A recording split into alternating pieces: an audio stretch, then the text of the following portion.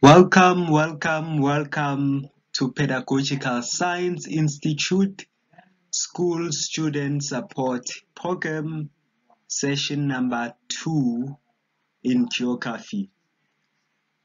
I am Mr. P. Mbuyisa again. Happy to have you guys in my classroom once again. Um, we are going to be continuing from where we left off in the previous session.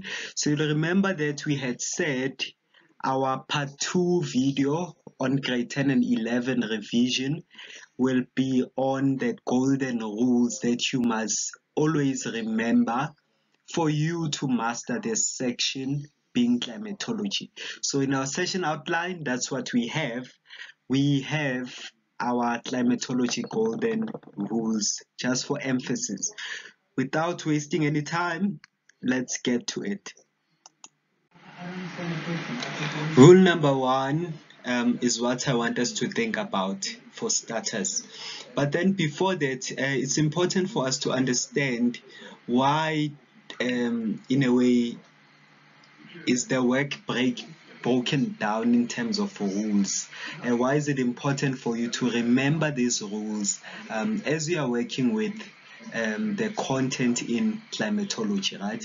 Now you need to always remember that um, as we said in the previous session the, the, the knowledge you're working with is scientific in nature. So um, there are certain things that remain constant um, or static or stagnant or are common throughout the section of work you are dealing with. And if you understand these things and you remember these things, it's easy for you to relate to them and access them as you are studying work in this particular uh, session right? A section right of work. And um, that's why you need to always remember the 12 rules we're gonna discuss um, in this session. The first rule then, let's just get to it. The first rule says to master climatology, always think about how air would, would act or behave. Um, this is very important. Remember, in the previous session, we had said climatology basically studies the behavior of air. And remember, air is found in the atmosphere, and we said the atmosphere is the layer of um, gases that surrounds the earth.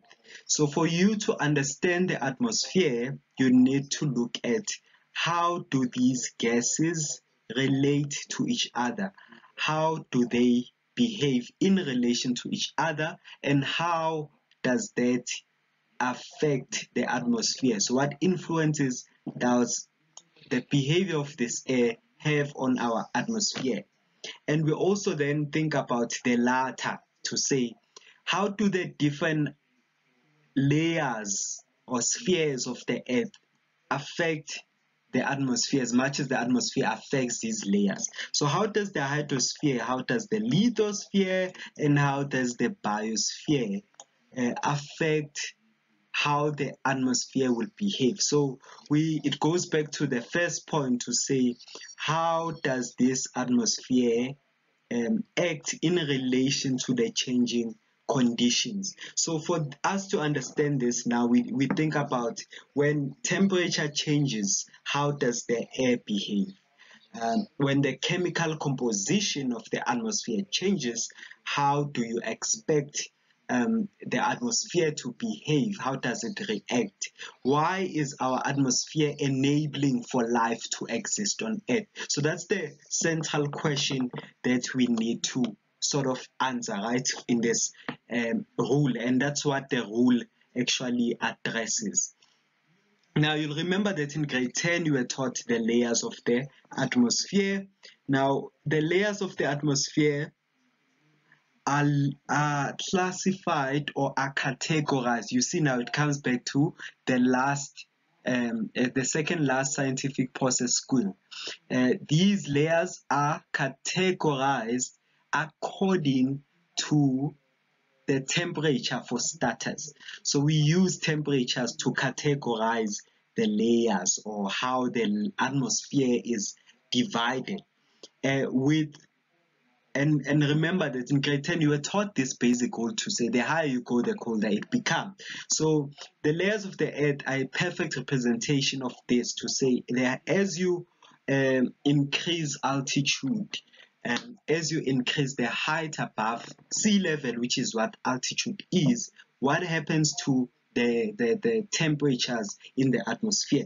And uh, that's what we would like to um, emphasize or put emphasis on. So notice that the first layer that extends from zero altitude to 20 kilometers um, is what we call the troposphere. So the troposphere, that's the layer where me and you are at at this point.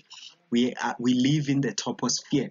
So temperatures in the troposphere extend from um, 60 degrees Celsius or centigrade to negative 30 degrees centigrade if you you like to or rather uh, let me just get a precise figure to negative 40 um, degrees centigrade. So that's what you have in the troposphere. Sorry about that. Um, and then soon after the troposphere, uh, the layer that begins over there is what we call the stratosphere. The stratosphere. So the stratosphere is the second layer we look at. So the stratosphere has an ozone layer. And remember that ozone is a chemical compound represented by an O3, right? It's represented by an O3. Let me just write it down here. Sorry for the skewed writing again. Yeah, so I think that's clear. So it's ozone, that is ozone, O3, and it's a chemical compound that is very important for the earth because it protects us from harmful solar radiation, right? Um, and uh, we, you were taught now in grade 10 that because of human activities which have led to a lot of pollution being released to the atmosphere, the ozone layer is being depleted. Remember, you were taught about ozone depletion. So it's being depleted, and as a result of this, these harmful um, this this harmful radiation is entering the atmosphere and thus affects uh, our our um, our our natural environment and in human it may even lead to um, diseases such as skin cancer right? So you were taught that. Anyways the, the main focus is uh, us looking at the changes in temperature. So uh, we are looking at how does temperature respond in relation to changes in temperature. So you'll, you'll see that there are changes in temperature with each sphere and it's going on the negative side of things, right? Um, now, after the stratosphere, the sphere that we have is known as the mesosphere. The mesosphere is known as the coldest sphere we have. So the mesosphere is the coldest sphere. Here is the mesosphere the coldest sphere because temperatures there extend up to negative 80 degrees as you can see over there. Negative 8 degrees celsius. So those that's that's that's what we have in the mesosphere. And soon after that we have the last sphere which is the hottest um, rather one of the coldest. Sorry sorry i don't know why i'm saying the hottest. Um it's also uh, one of the coldest and that's the sphere we call the thermosphere. Um so that's the last sphere. It's in the outermost of the earth right?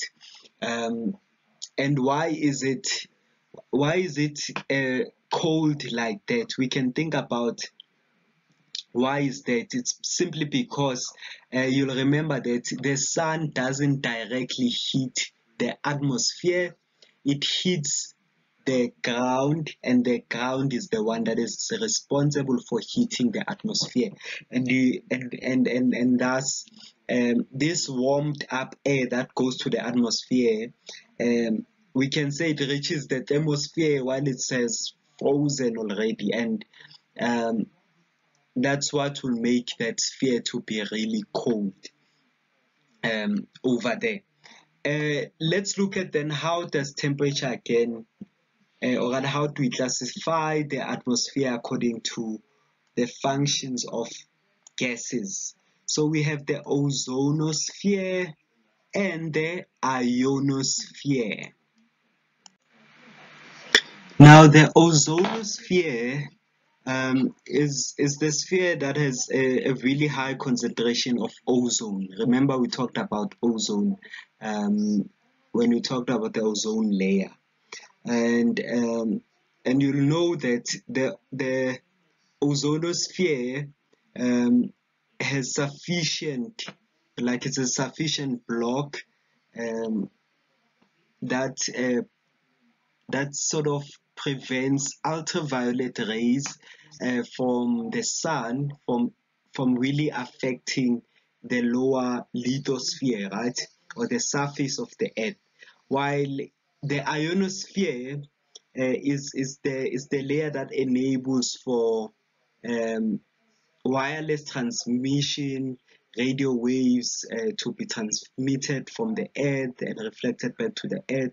Uh, because the ionosphere like is rich in ions um, hence it's given that name ionosphere.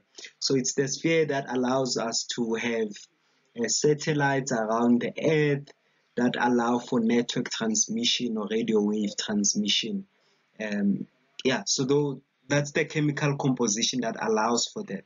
While now the, the last last uh, basis of classifying the atmosphere and that is it's it's based on the chemical composition of the gases. So you note that um, we have the homosphere and the heterosphere. Now the homosphere um, is very important. Now that's the sphere we live in. Now remember homo means uniform so the homosphere has a uniform distribution of um, the gases. So all the type of gases we have uh, in a way are in a uniform distributary format.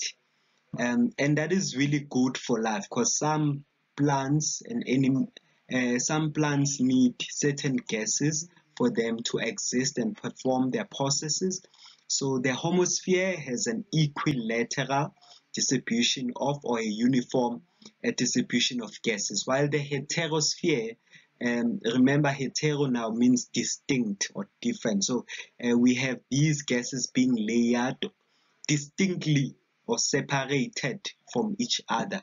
So the first layer uh, from the first layer of gases in the heterosphere is nitrogen, followed by oxygen, then helium, then hydrogen. And we know that hydrogen tends to absorb um, some heat, uh, some more heat, hence the thermosphere um, um, is deemed as such. It's given the name thermosphere because it absorbs a lot of heat.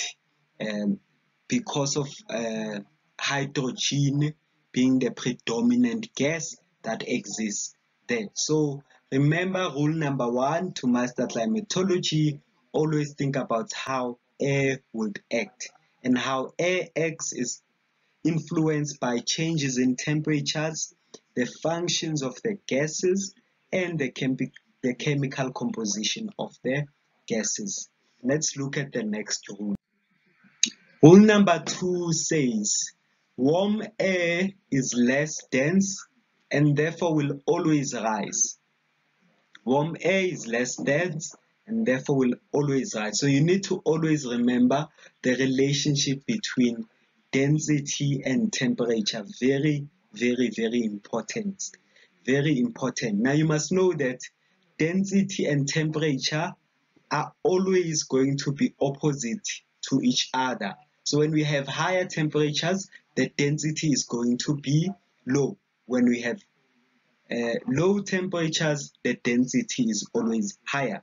Now, warm air particles gain heat energy, right? We know that.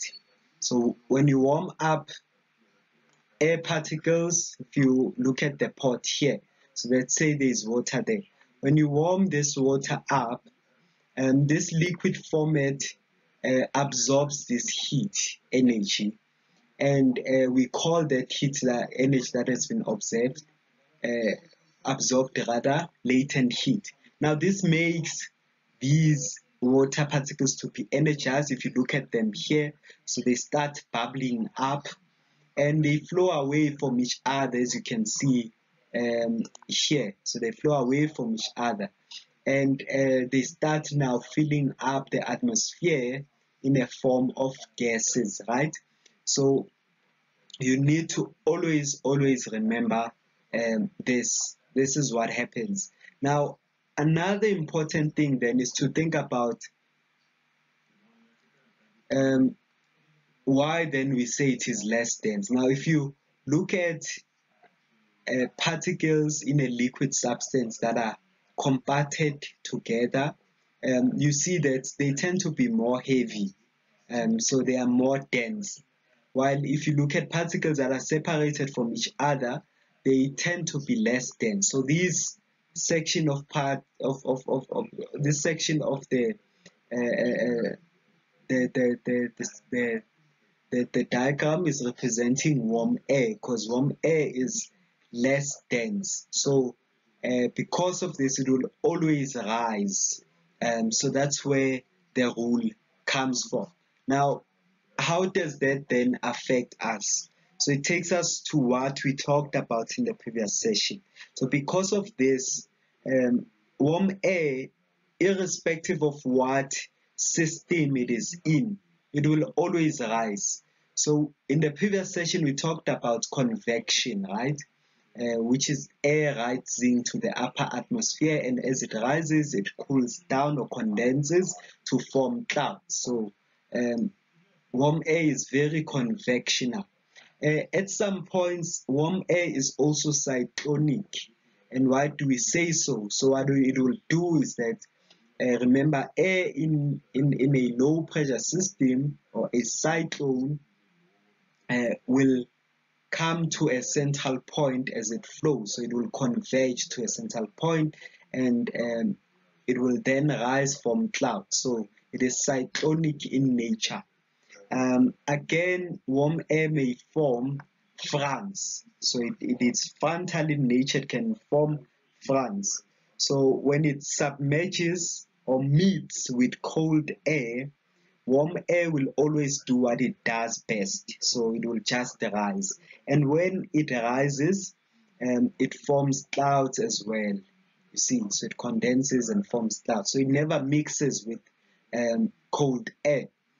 And in an orographic uh, situation uh, in a mountain it will always behave the same way again. So it will rise um, when expected to do so. And as it rises, it will form clouds um, in that mountain. The leeward, uh, sorry, the windward side of the mountain, um, and will form a rainfall as a result. Uh, on the other side, we have your rain shadow. Uh, that side, and remember that side is the um, leeward side. So this is the windward and the leeward side yeah so that's how warm air will always behave. Now how does cold air behave? That's rule number three. Cold air is is more dense thus it will always sink. So looking at our density scale again. So what is more dense is the colder air. So it is compacted it is closer together so it will always sink while the warm air will rise. So when density increases, what happens to temperature? It decreases. So that's the relationship you must always remember. So that's how um, your cold air will behave. Now another thing about warm air. Warm air is more is mostly moist. Warm air is more is mostly moist. So we always say warm, moist, rising air simply because warm air is mostly moist. And why is it moist? Takes us to our diagram here. So remember that we said radiation from the sun will heat the surface. And as much as the surface is the lithosphere, it also has some fragments of the hydrosphere, uh, water bodies there. So these water bodies will uh, have their water evaporating. So this air evaporates. Remember, air evaporates once it has uh, reached its boiling point, right? Its highest temperature. So it will start uh, vaporizing, forming our water vapor. So that's what happens. And remember, after it rains, we also have surface runoff water on the surface. So that water as well, um, when exposed to insolation, also tends to evaporate to the atmosphere. That's why we say warm air is mostly um, moist. And you need to take note that I did not say it is always moist, but I said it is mostly, mostly moist. And why do I say so? Because there are instances where when that is not the case. So uh, we'll talk about that, of course, in sessions to come. I'll explain that briefly again today. Now, uh, you were taught the water cycle, right? So this is what the diagram is basically showing us, a 3D view of what will happen. So the sun will heat the water bodies and the grounds and all of that. Um, and there is also some plants here. So what we call evapotranspiration will happen uh, where some plants and water will also evaporate. Um, and we also have um, the ocean and the rivers and all of that. So what will happen then is that um, the sun will heat these things and it will cause convection to happen. So the water vapor will rise up, condense, form clouds, and uh, because it's moist, it forms clouds, condenses, and all of that, and uh, rainfall happens again uh, as a result. Or you can think about it in this way when it rains, water goes into vegetation, rocks, and the soil. It also goes to the lakes and streams and the ocean. So, what happens is that when it rains, all of these uh, parts of the earth will evaporate so in the in the in the plant part of things transpiration or evaporate evapotranspiration will occur and you will then have water vapor in the atmosphere and this water vapor will fall down as rain and snow back to the ocean rivers dams lakes rocks and soil um, and different streams as well in the ocean. Um, and the process happens over and over again, and that's the water cycle. Now, going back to what I emphasized on to say, um, warm air is mostly moist. So there are instances where we have warm air, but this warm air is hot, or rather, is though it's warm or hot, it is dry. And that only happens when we have the formation of berg winds or what we call fall winds. And remember, berg winds are due to anticyclones, and anticyclones are low pressure systems formed by cold air. So this cold air warms up adiabatically. So remember, cold air is always dry. So as this cold air is dry, and as it sinks, it warms up adiabatically, and as a result, you have hot air. Uh, though it is hot, it's still dry, because um, it originated from a cold, dry system, being an anticyclone. Uh, upper in the atmosphere. So that's what will happen, and that's the uh, that's something that we we are going to discuss in the upcoming sessions, of course how these berg winds will form.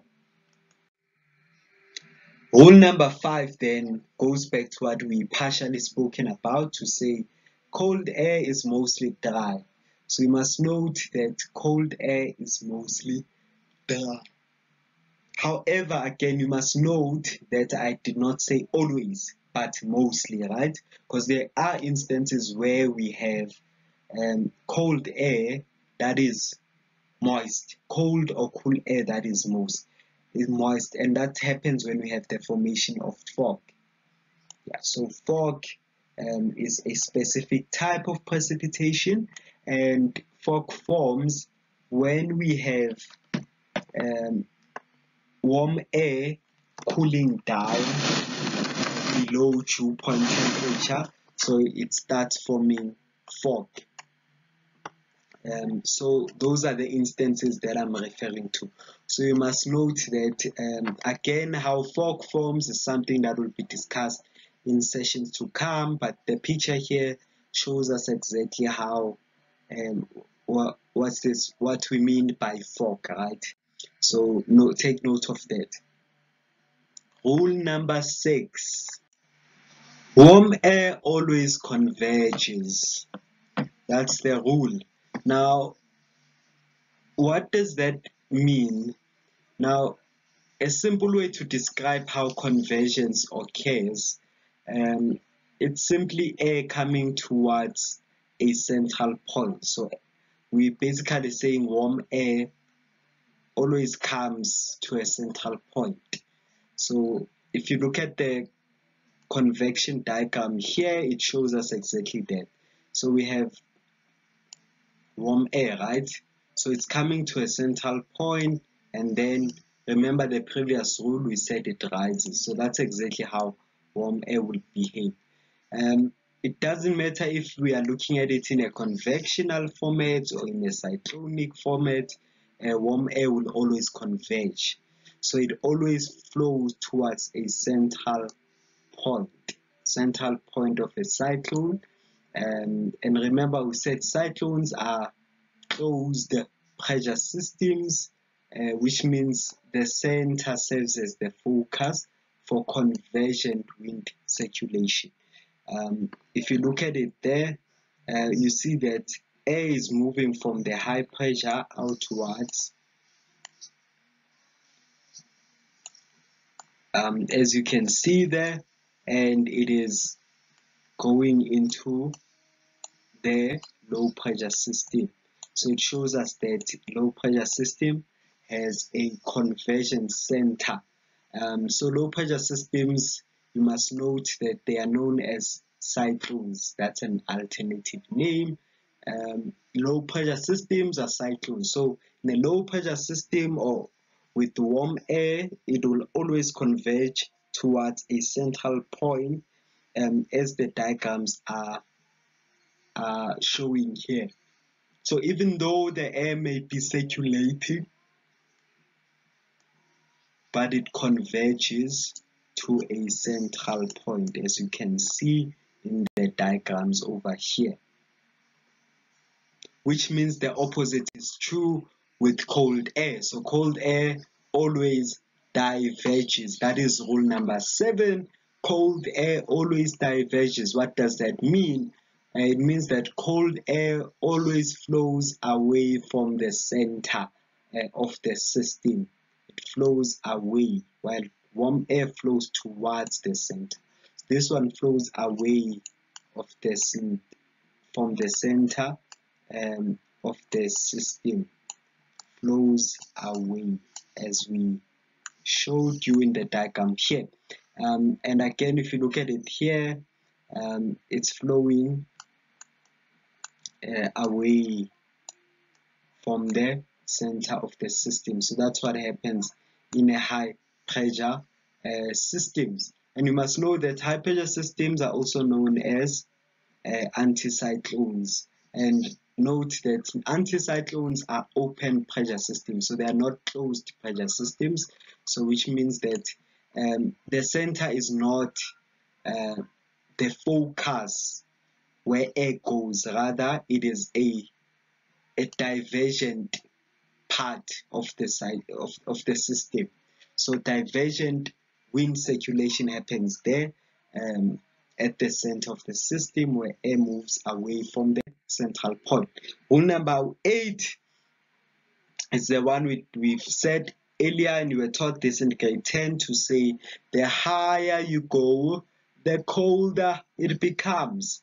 Um, so as the air goes to the upper atmosphere after being heated um, by the sun, it cools down. And why do we phrase it like that? Remember, the sun will heat the surface and the surface uh, the surface's short-term radiation will heat the atmosphere so the sun does not directly hit the atmosphere it is the lithosphere or the earth's surface that hits the atmosphere. So convection um, the process we described is responsible for heating the atmosphere. Hence the higher you go the colder it becomes and that's what we describe here. So what will happen is that long term uh, radiation will come and heat the surface and the surface will heat up the air there and this air will rise convection happens and it heats up our atmosphere. So that's what we said here. So in the troposphere that will, that is what will happen um, as we described. So please remember this rule very important. Uh, we apply it a lot in this section of work. Now, since the higher you go, the colder it becomes. It means the opposite is true. It means the lower you go, the warmer it gets. Um, and why is that the case? Now, remember, after the warm air has reached up the upper atmosphere, remember we said it cools down. So it means that after it has cooled down, since cold air is dense and always sinks, what will happen is that this cold air will sink and go back to the atmosphere. And as it goes down it's gonna heat up and why? Because the earth heats the surface and the surface will heat up the air uh, the, the air as well. And this air will be warm again and it's gonna go up and it's gonna be a cycle over and over again. Hence adiabatic heating happens as well. So you need to note and understand that so you must note that conduction as a process leads to vertical heating of air while advection leads to the uh, horizontal heating of the air so these two things are not the same, different processes. When air moves horizontally, advection happens um, and conduction happens as the air Uh, will be vertically moving. Rule number 10, air will always move from high pressure to low pressure. Air will always move from high pressure to low pressure. That's what we described in the previous part. Remember in a high pressure system, air leaves the system. It flows out of the system. And because it flows out of the system, where does it go, guys? It goes into the low pressure system because air always enters the system in a low pressure system. And that's what we call pressure gradient force. So pressure gradient force simply states that air will always move from high pressure to low pressure. And why does air leave the high pressure? It's because of divergence of air. Remember, in a high pressure system, air diverges. And because of that, it leaves the central point. It leaves the central uh, point of the system. While in a low pressure system, it air enters the system. So convergence um, is the phenomenon that happens over there. So that's why that is true. Uh, rule number 11 um, entails you understanding that air circulates differently in different hemispheres depending on the type of system. So if you are looking at low pressure systems, you must note that low pressure systems will circulate counterclockwise. Uh, counter means opposite, right? So they circulate opposite to how a clock will um, circulate in the northern hemisphere. So they circulate towards that direction. low pressure systems and that is also known as anti-clockwise while in a high pressure system air will circulate in a clockwise direction you must note those differences guys um, in the southern hemisphere the opposite is two high pressure systems will be the ones circulating counter clockwise while the low pressure systems are the ones who circulate in a clockwise direction. So that's what we have over there. That's rule number 11 rule number 12 air current circulation and wind movement are not the same. Guys please always remember that and that's how you lose your marks in exams as well. Now when we talk about circulation and when we talk about wind movement we are not referring to the same thing. That's what we mean by this rule. So when we make reference to circulation of air we are basically looking at the influence of the vertical pressure gradient force and this vertical uh, uh, pressure gradient force leads to the formation of what we call air current.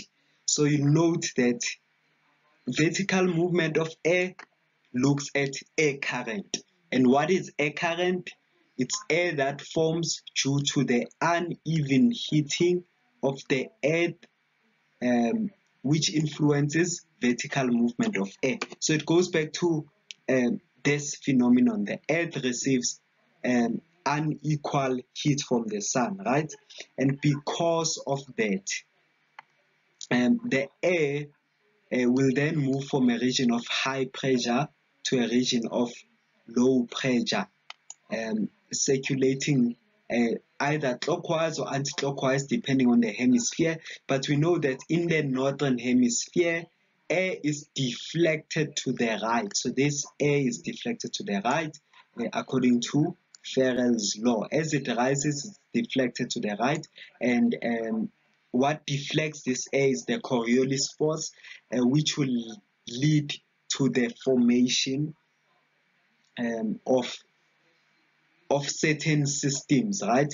Um, and we know that it's very important for you uh, to understand these differences. So when we look at circulation, the vertical movement of vertical pressure gradient force leads to the formation of um, air current. So if you look at this diagram of ours, uh, the sun, remember, hits the ground. So we will have cold air in the ground. This cold air will be heated up. Now, since the air is cold uh, at the surface initially, it means that at the ground we have the highest pressures. And in the upper atmosphere we sort of have lower pressure or warmer air as the atmosphere gets heated up. So vertical pressure gradient will will cause um, air current to form. Because remember air moves from high pressure to low pressure.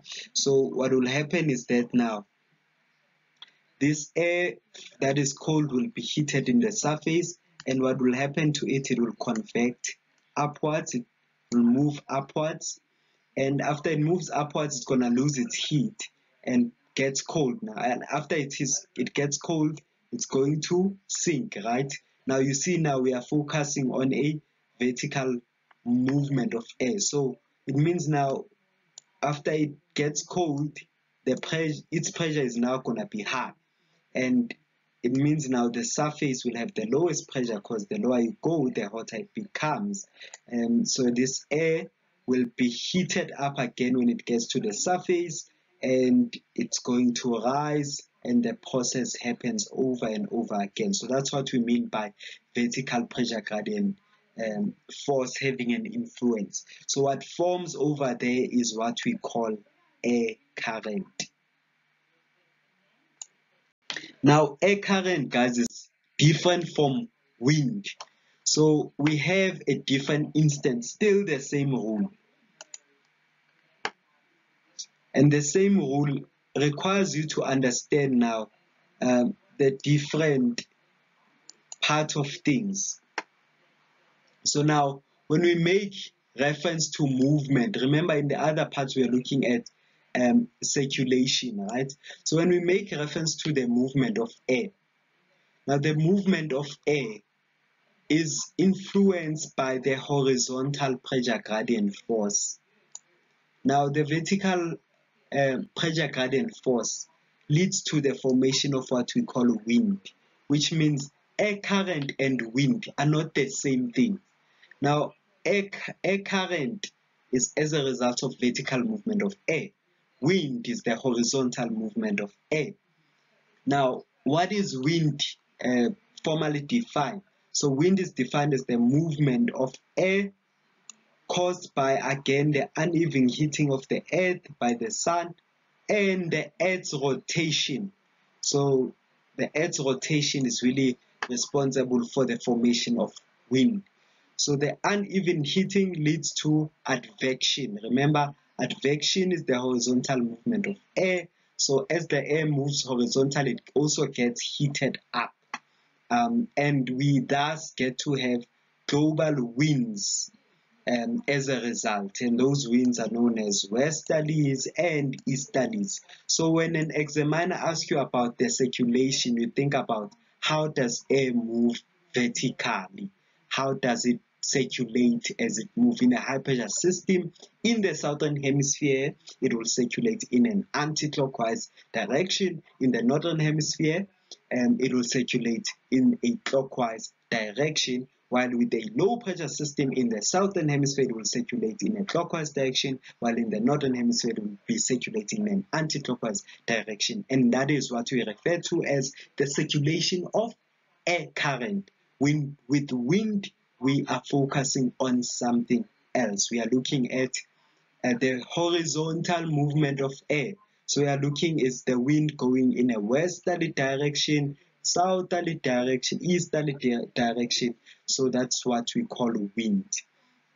And again, the deflection of this wind is influenced by Ferrel's law and the Coriolis force which we are also going to discuss in one of the sessions. So that's what you need to know, that's what you need to understand um, with regards to this rule.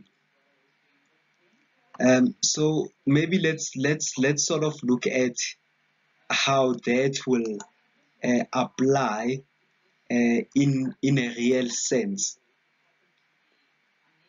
Now this diagram here is showing us vertical sorry the horizontal movement of air. So the horizontal movement of air may lead to what we call land breeze and sea breeze. And land breeze and sea breeze are examples of horizontal air moving. So we have during the day what we call um, during the day what we call um, land breeze and why do we have land breeze during the day?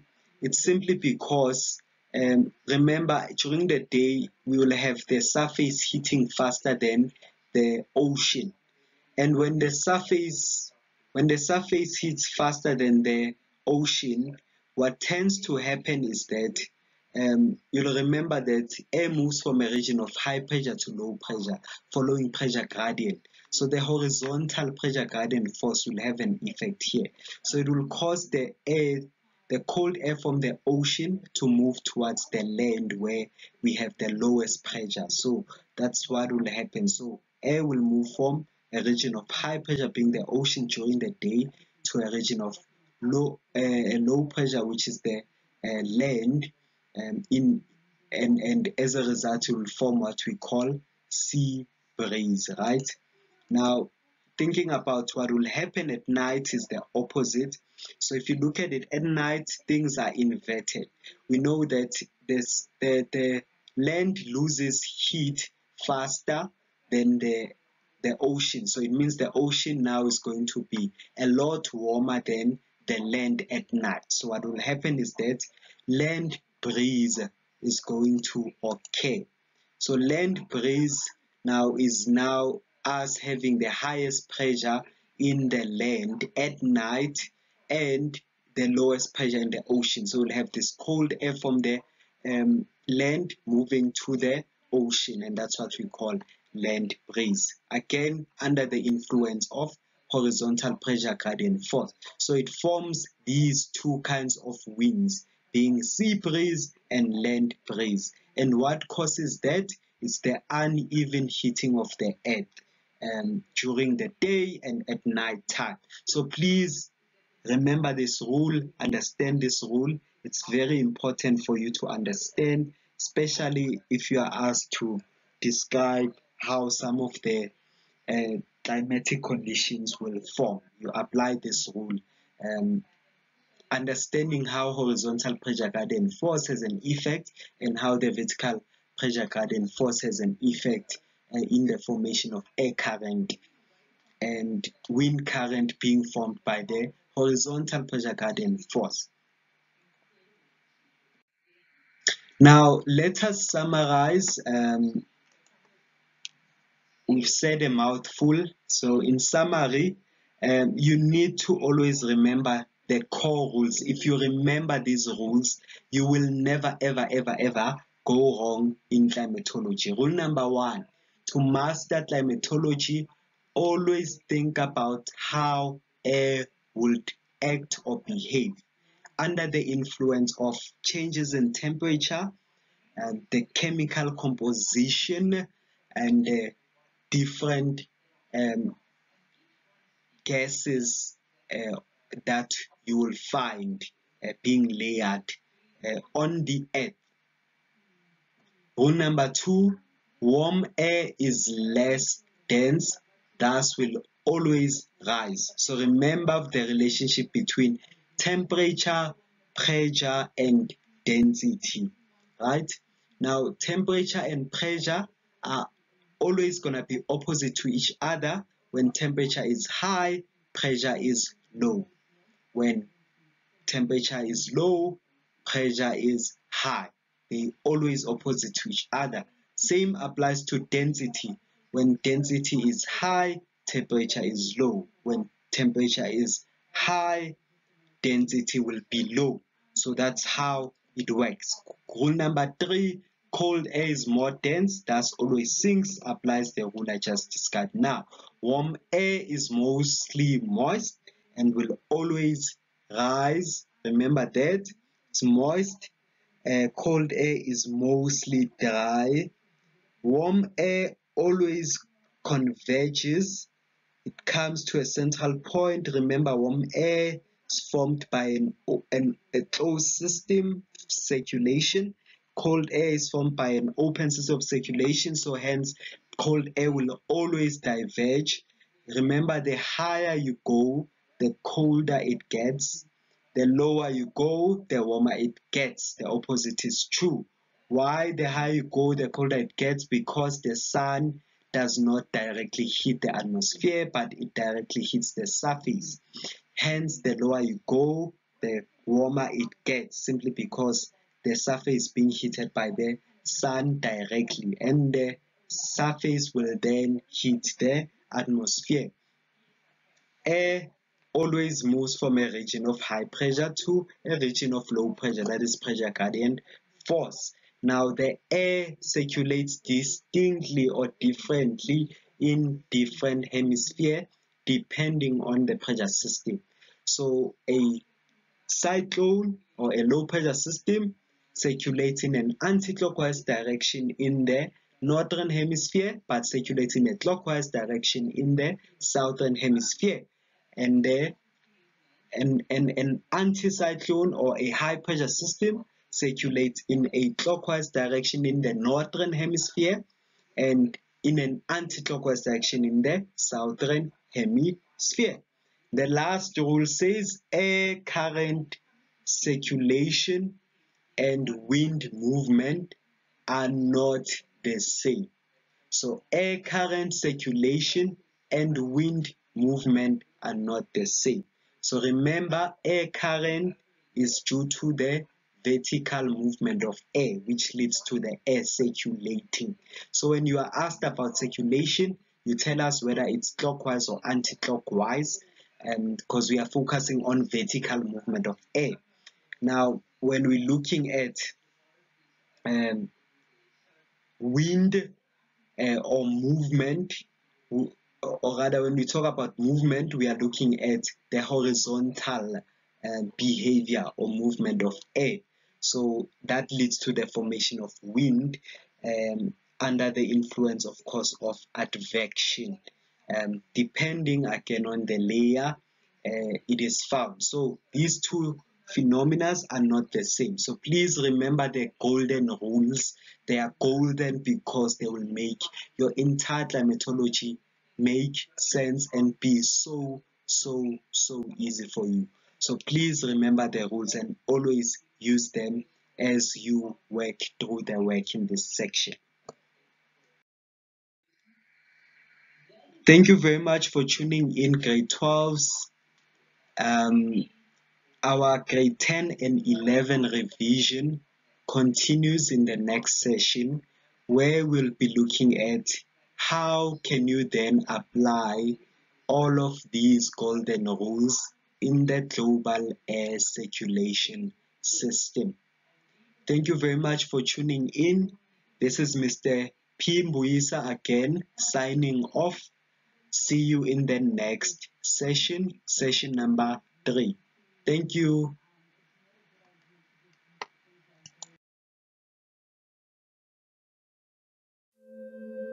Audio Jungle.